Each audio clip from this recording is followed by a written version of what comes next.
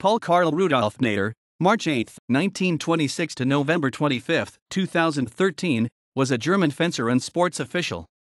He represented the United Team of Germany in 1960 and 1964 and West Germany in 1968. Equals equals References equals equals